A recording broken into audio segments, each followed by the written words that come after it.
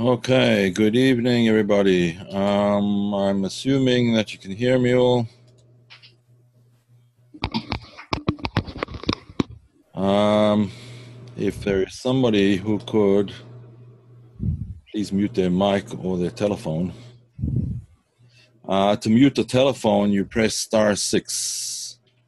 Just star six to mute the telephone, and uh, we'll be good. Good to go. Okay.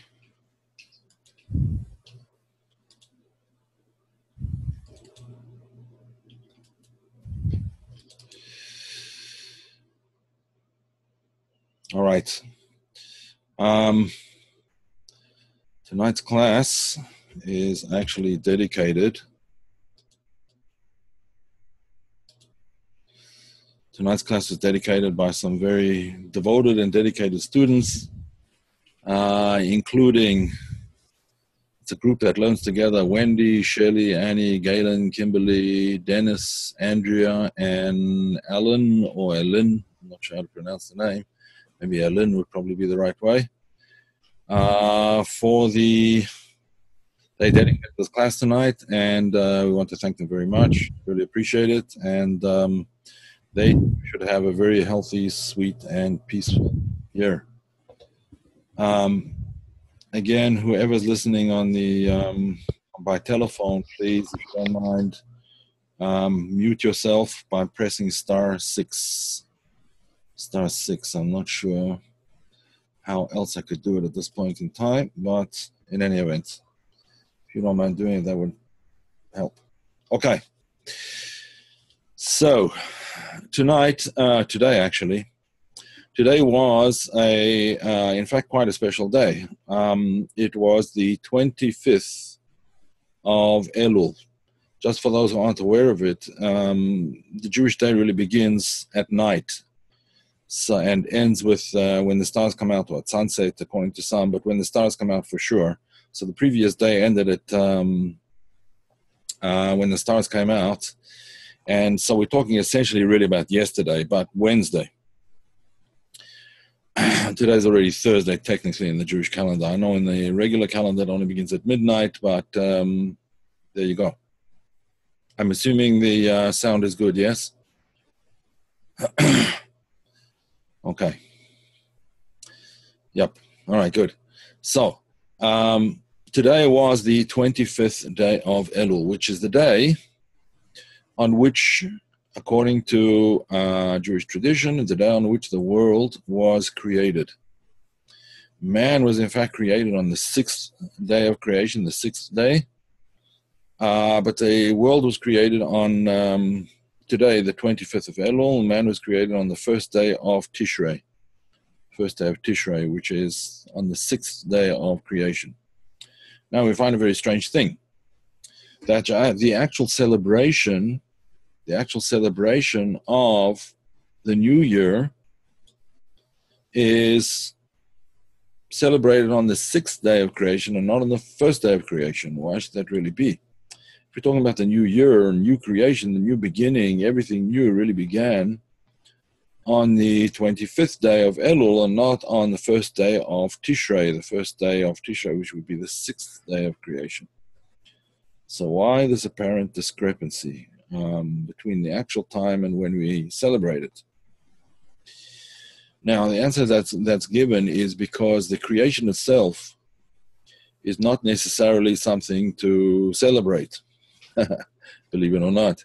It's not something to celebrate for a very simple reason. And that reason is that the creation without having any um, without having any purpose to it, the creation without having any um, any goal is really not nothing much. It's not anything. It's it's just it just is. In fact, even more than that, the creation of the world, in order for the world to be created, so Kabbalah explains that initially the only thing that there was was the presence of God. That's all that there was. And then came, it was, we can't talk about it chronologically because time did not exist yet, but at a certain stage, there was, so to speak, God's revelation of himself to himself. God's revelation of himself to himself, which is usually called in Kabbalistic terminology the Or Ein Sof, the infinite light. In other words, the infinite revelation of God. But since there was no creation yet, one would have to say the infinite revelation of God to himself. That's called the Or Ein Sof, the infinite light. It was only after that that the world was created. In order for existence to be created, in fact, it wasn't the world that was created. When I say the world, we mean the world that's that we see all around us. The spiritual worlds were created before, if not chronologically, then in terms of uh, quality. There was qualitative planes of existence that existed before this world in which we find ourselves. Now, in order to create any of the worlds, the word world in Hebrew is spelt olam. I'm just going to write it in the chat box so anyone can see if they want. O L A M in uh, in English, and in Hebrew that would be Aleph Vav Lamed Mem Mem Olam. Olam is from the same word as the Hebrew He'elem. He'elem is concealment.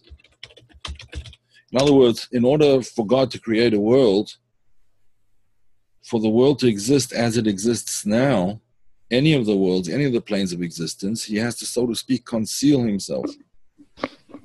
Now he's not concealing himself from himself because that's that doesn't really work. Uh, God doesn't con- conceal himself from himself, but he conceals himself from what will be the various planes of reality or the various planes of creation. Now, let me just explain that for a minute by way of an analogy. Let's say that you have a child who you're teaching to read. Now, in order to teach, to teach the child to read, you obviously, um, being that um, you know you're a professor of literature in um, Harvard or Princeton or Yale or whatever, Columbia. Um, obviously, if you're going to start sprouting a lecture in uh, you know the inner recesses of Shakespearean um, uh, technique and so on, uh, your five-year-old kid is not really going to understand very well. So, what do you do in order to be able to explain to your child a concept which he's reading and he doesn't understand, or a word which he's reading and he doesn't understand? So, you narrow down your thought process, process and you focus on one specific thing and explain it to him in ways that he can understand. We've used the analogy before of trying to explain 2 plus 2 equals 4 by 2 oranges plus 2 oranges equals 4 oranges, and that's how you go about it. So the same thing over here, you have to bring it down to a much lower level. That bringing it down to a lower lower level is called he'elem, he'elem, concealment, or the technical term for it in Kabbalah is tzimtzum.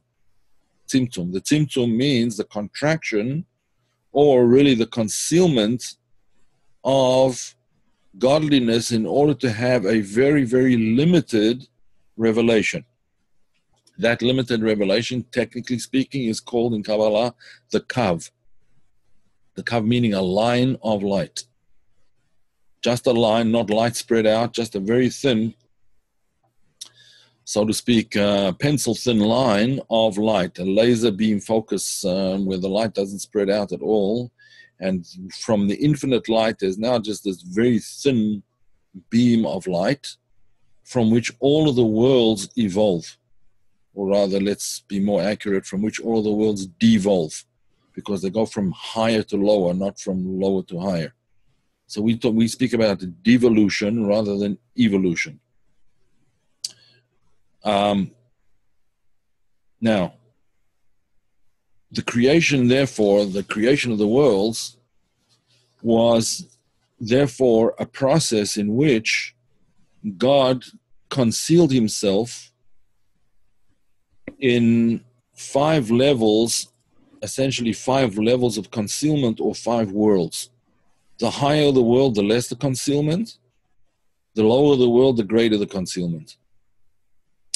And in general, there are five planes of existence, which are called from top to bottom, will be called Adam Kadmon or Ak for short, Adam Kadmon, then Atzilut, and then Bria, Yetzira, and finally Asiya. Asiya is the spiritual underpinning of this physical world in which we live, the spiritual backdrop to this physical world. So those five worlds, five planes of reality, are created by concealment. So therefore, comes along Kabbalah and says, um, this is not, nothing really to be celebrated. Concealment is not something to be celebrated. When do we celebrate something? And by the way, let's just explain this concept of celebration and commemoration. Um, as everybody knows, um, the regular New Year is celebrated usually uh, in many, many parts of the world, obviously. But uh, in America, probably the uh, chief attraction is the celebration of uh, New Year in Times Square in New York, where hundreds of thousands, not millions of people gather and they celebrate the New Year um, by lighting off fireworks and then getting drunk and then. um, I don't know what else, but um, hopefully without riots, hopefully happily. But in any event, that's how New Year is celebrated in the in the secular world. I suppose to a certain extent you could say that the secular world is is is celebrating the creation of the world, even though it's on the wrong date according to Jewish uh, teachings. But they're celebrating the creation of the world. In other words, the concealment of godliness. You know, fireworks and get drunk and uh, let's enjoy life.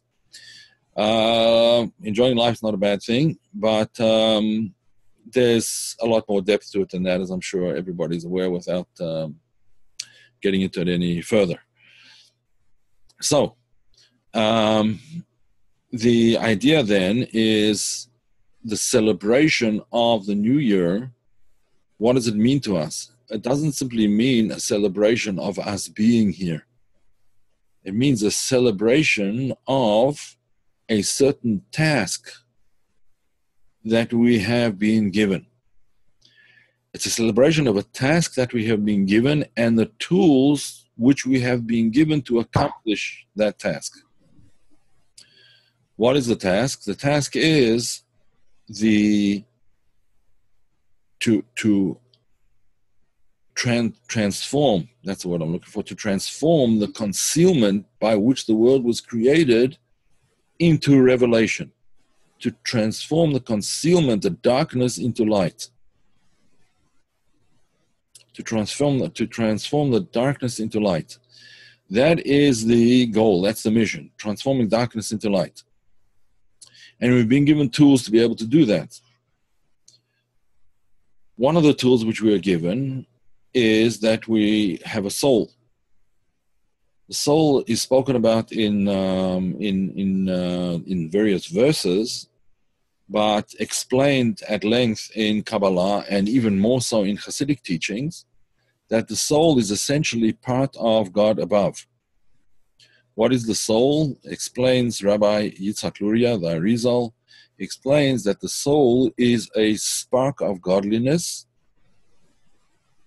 which is contained within a spark, a spark of the Creator, within a spark of the created, a spark of God within the human being, within the soul of the human being.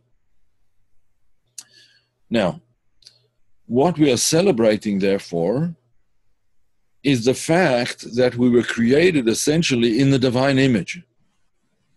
Not simply that we were created, but that we were created as so to speak, a I don't want to say a mirror image, but as an image of godliness down below in this world, a reflection of God down below in this world. That's what a human being is, a reflection of God. Along with that celebration comes a tremendous feeling of responsibility, essentially awe and responsibility because the task is a tremendous one and we are being given tremendous powers to be able to accomplish it. But the task itself is a huge task. We, in a sense, have to undo in a sense. We have to undo what it is that God did. He created the world through concealment. We have to recreate the world and bring revelation into it. Yael, uh, are we including are we, are we including non-Jewish souls? We are including everybody in the sense that everybody is part of Adam, and Adam was the one who was created in the divine image. So we all have the divine image. Jewish people have been given a special task in this particular um, framework, but everybody has essentially the same uh, the same duties. The same duties is to make the world into a settled place, into a place which is ready to receive the revelation of godliness, and sooner or later to transform the darkness into light. That's what it's all about. So everybody's included as far as that's concerned. So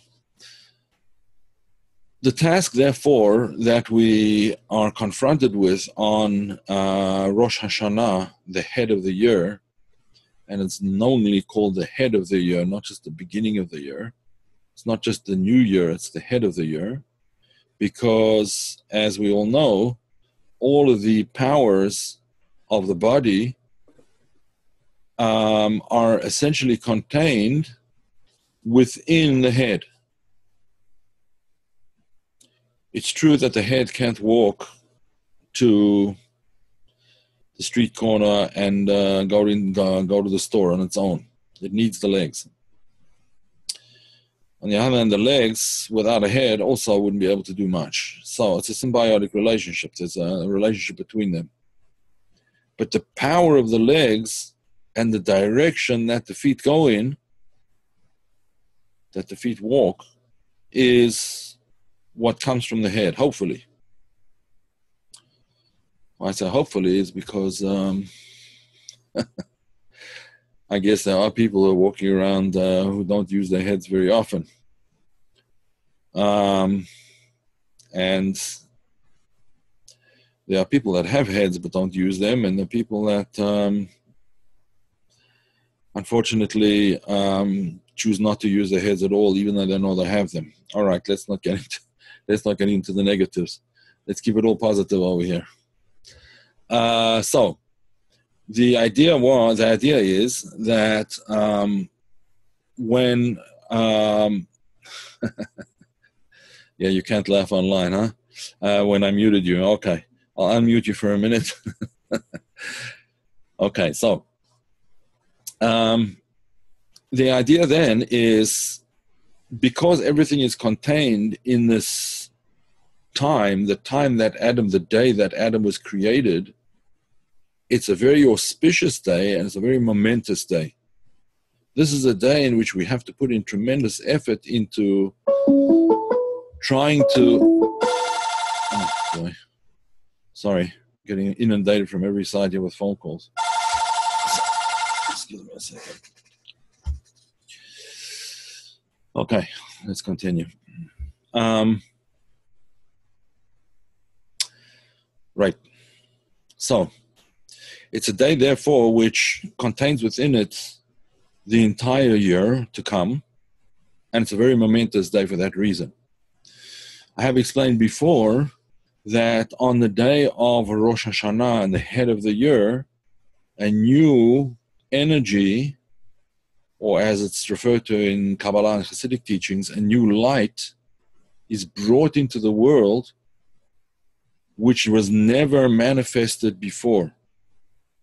If you could think of a uh, of a helix or a spiral, a spiral going upwards, that spiral going upwards um, is representative of the way things work in the spiritual worlds spiritually, things are always in a state of advancing. It could be, it, it might look like we're just like circling the drain, you know, kind of thing. It might look like we're circling the drain. But that's the, the Baal Shem Tov explained that a spiral staircase, if you just focus on what's in the middle of the staircase, in other words, the pole that you're going around, you might not seem to be making very much progress at all. But the truth is that you are making progress. It's not visible, but you are making progress. It might not be visible. But our sages tell us that every year there's a new level of light, a new level of energy that comes into the world that was never before in existence and is a higher level of energy, a higher level of light. And so we continue going up in this sort of upward, this upward spiral. Now, it could be um, that we may experience it as not quite like that. Uh, whoever is on the uh, on a phone, please press star six again if you don't mind. Um, there are some. Um, if I can let me see if I can switch off this phone here. One second, folks. Oh, yeah, the phone is off. Yeah. Okay, good. Thank you.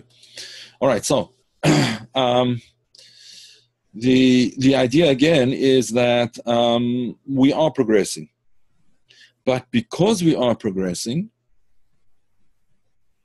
moving upwards, the tasks that we have to fulfill are ever more critical. As we get higher and higher in a more and more spiritually rarefied atmosphere, we have to purify, rectify ourselves in such a way that we too are ready to be able to make use, to utilize that special power that we've been given for this year to expand our to expand goodness in the world to expand light in the world to expand our spiritual footprint in the world so to speak it's a very very important thing and something that is possibly um, misunderstood why did i say misunderstood if we look around at the world there's obviously um, yeah, I went to the participants. I muted everybody, but it seems to keep on unmuting. All right, whatever. Um, in any event, um, if we look around at the world around us, there seem to be more and more problems, more and more issues which need to be thought about very seriously, and it can make us. Um, if if you're the depressive type, one could get depressed. Thank God I'm not a depressive type, but um, it's enough to make the regular person depressed if you if you look around and you uh, and you look around at the world in a certain way. However, what we have to do is we have to look at the world as a place of opportunities, a place where we have the opportunity, indeed, let's call it a privilege, rather than just the opportunity, the privilege of doing good things. I was just speaking to someone today, a private um, client, who um, actually lives in um, he lives in Norway, and he's a very spiritual person. Um, and he's come to the conclusion, or at least he's coming to the conclusion, that part of what it is that he has to do, why it is that he landed up in Norway, uh, he could have gotten jobs elsewhere as very um, capable and talented young man. Uh, but he has this job in Norway, and he he's convinced, and uh, I'm convinced too, that the reason that he's in Norway is because he has spiritual work that he has to do there there's a story that um, uh, is told about a certain um, a disciple of Rabbi. Um, he was a disciple of Rabbi Shmuel of Lubavitch, the, the, the fourth Rebbe, the fourth spiritual leader of the Lubavitch movement, which was uh, essentially based in Russia until it moved over to America in the last generation uh, last generation and a half, essentially. 19, 1950, 1950s it moved here. Um, with the previous Lubavitcher, um, Lubavitcher Rebbe, Rabbi Yosef Yitzchak of Lubavitch. In any event, during the uh, time, um, during the life of the fourth Lubavitcher Rebbe, Rabbi Shmuel, he had a disciple who was um, a big, very, very wealthy man and a philanthropist at that.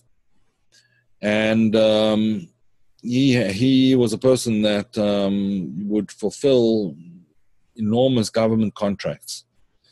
He had the brains and the uh, wherewithal and the uh, organizational skills and so on, and the ability to employ the right people and he would get these enormous Russian government contracts. We're talking about in the 1800s here, uh, mid to, uh, mid to late 1800s. So he was offered a huge contract to build a railroad to Siberia, a new railroad to Siberia. And for various reasons, he was very unsure about this. He wasn't sure that he wanted, even though it would have been a very lucrative project and so on and so forth. And um, nevertheless, he wasn't sure that he wanted to do it. So, what do you do when you're not sure of something? You ask your rabbi, yeah. You ask your spiritual leader. You ask your um, your rebbe. That's what he did. He asked his rabbi, Rabbi Shmuel, who said to him, "Yeah, I think you should go ahead." go ahead with the contract. So he says, yeah, but I'm going to be there. It's going to, you know, it's going to be at least two years, and I'm going to have to be in Siberia most of the time for those two years, and uh, away from my family, and um, this and that and the other. So the Rebbe told him, Rabbi Shmuel told him, yes, I, I still think you should do it. no matter what your, um, no matter what, I think you should do it. But this fellow was uh, rather stubborn and apparently not as smart as he thought he was. And he decided that, all things considered, he is not going to go ahead with the contract, and um, and he didn't. A couple of years later, um, they found uh, some there was some anomalies in his accounting some uh, questions about his accounting methods or whatever it was. The Russian government uh, prosecuted him, and he la- and he landed up, man, and he landed up in Siberia for about five years. he landed up in Siberia for five years. When he came back, that's where they used to send people to prison. Uh, when he came back, he went into his Rebbe, and he said. Um, he said, Rebbe, I see you were right. I should have gone to Siberia. So the Rebbe, the Rebbe told me, yeah, you should have gone because then you could have gone on your own volition. And not only that, but you would have got paid for it. Sorry about this, folks. There's someone who's trying to call me and he's just driving me nuts. he wants, wants me to teach him how he can see the letters on a person's forehead. I'm not about to teach him that. In any event, okay. So, um, so we understand that uh, being in a certain place at a certain time has its necessity. One is in a certain place at a certain time for a certain purpose. That purpose we might not be aware of, but we are aware of what it is. I should tell him he needs more patience. Yes, I will. this is about the fifth time he's calling me tonight, and I've always been busy in a meeting or whatever it was. I haven't been able to answer him in any event. Okay, so um, the um, the purpose of our being, where it is that we are, we aren't always aware of. But what we are aware of is the strengths and the values and the talents with which we have been endowed. At least we should be aware of them. If a person is not aware of them, of what talents he has, and of course there are talents that one can develop. One is it's not a fixed uh, it's not a fixed thing. But the talents with which we are endowed and the strengths of character and the strengths of soul, let's call them the powers of one's soul, um, everyone has all the powers of the soul, but some are in greater, um, they're, they're, uh, in, in the balance of power, so to speak, in the soul, some are more dominant, some are less dominant. For example, with Abraham, Abraham, the power of chesed, of kindness, was more dominant in Abraham.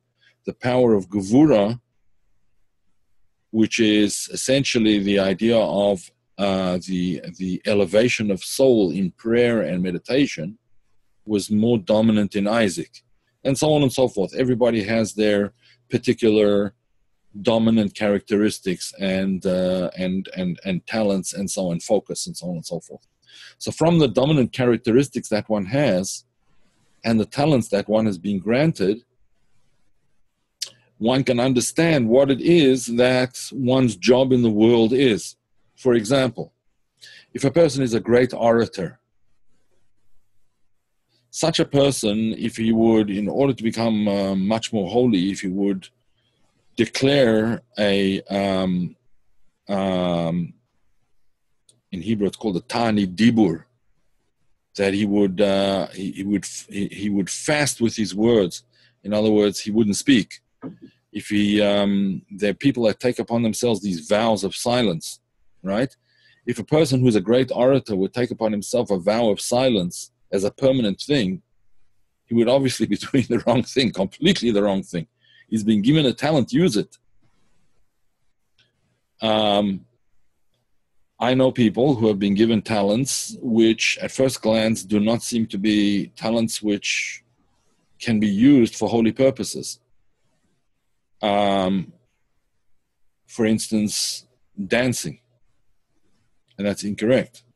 Dancing is a, a holy art, or at least it can be, when it's done in the right way and done with the right modesty and done with the right uh, with the right intentions.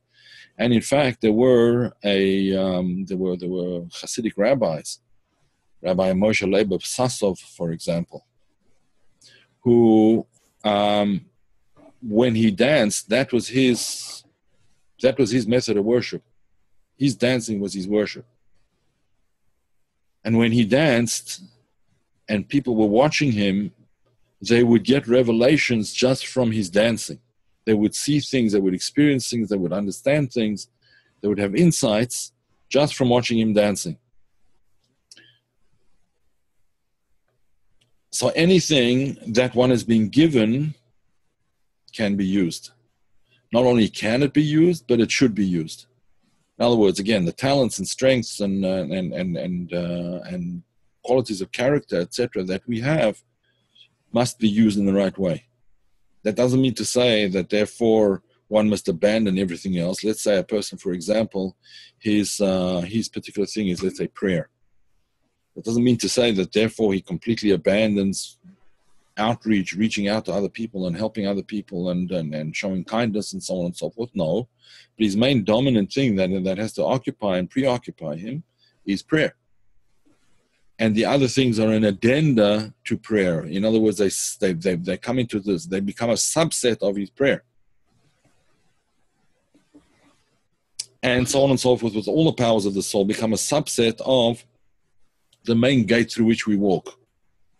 Now, just for example, to take the example of prayer, there are um, traditionally 12 tribes of the children of Israel it's explained that each tribe had their own um, prayer book. Slight variations, more or less the same structure, but slight variations in the manner of prayer of each tribe, corresponding to the different gates through which each tribe would enter when they went into the temple. The temple had 13 gates, there were 12 tribes each tribe, if you knew the tribe you came from, only went through the gate that belonged to that uh, that was designated for that particular tribe when you would go into the uh, the temple. There was a thirteenth gate for people who didn't know their tribe, or for people who had converted, or um, um, for when the temple would be destroyed. That thirteenth gate remained open according to, to, to tradition, that 13th gate, the 13th gate is the gate which was revealed to Rabbi Yitzhak Luria, to the Arizal, the founder of modern Kabbalah. That was the 13th gate. Right. So says Yael, her roommate in seminary studied dance and became a teacher to autistic children to help them to interact. Well, that's wonderful. See, there you go. Perfect example. Excellent. Thank you for sharing. Okay, so each of us has to take this idea if we want to really build a world and utilize the powers that we've been given in the best possible way, each of us has to take what we were given and formulate it into a mission, into a goal, into a, um, um, a calling, let's put it that way, into a calling that this is his this is his calling. Now it could be this is a calling just at this particular stage of life.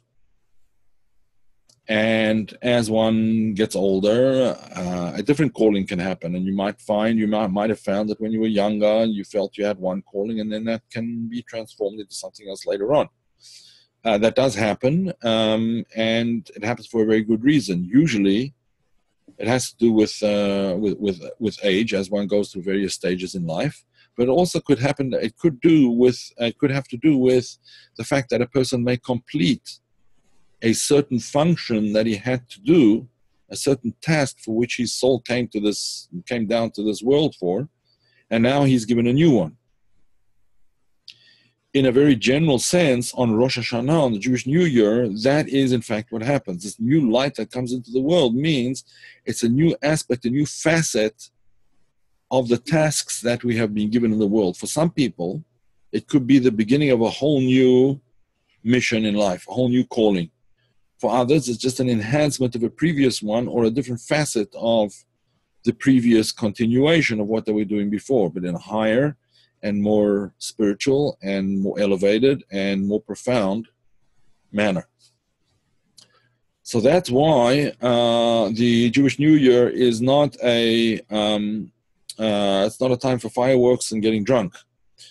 Um, there is there are times to get drunk. in the Jewish calendar. One of them is called Purim, right? Purim is a um, uh, one of the celebrations of Purim. Is people actually do uh, they do get drunk, but it's not a drunken, wild drunken stupor and wild drunken like behavior and so on. It's it's a way of sort of getting beyond yourself once a year. We'll talk about it when Purim comes. But anyway, um, there's a time for everything, as King Solomon uh, said. There's a time for everything. There's a time for celebration. There's a time for joy. There's a time for alcohol, I guess, and then there's a time for uh, for for being serious. And Rosh Hashanah is a time for seriousness with joy. Seriousness with joy. Gilu birada. Rejoice with trembling. That's what it's all about. So we're coming up to that day, um, the sixth day of creation, when man was given his task of rectifying and elevating, uplifting the world and everything around him. And so that's what we have to take into uh, consideration. How do we uplift the world? How do we change things? How do we move forward? How do we become the true reflection of godliness with which we were, cre- we were created or in which we were created? And uh, when a person contemplates on that, and if that's his, um, his or her uh, focus on that holy day, then, um, and we're talking about uh, Sunday night, Monday, and Tuesday. Those are the days. So, ladies and gentlemen, that'll be it for now. Um, uh, unless there are questions, which I'll be happy to answer. Um, just let me point out that there will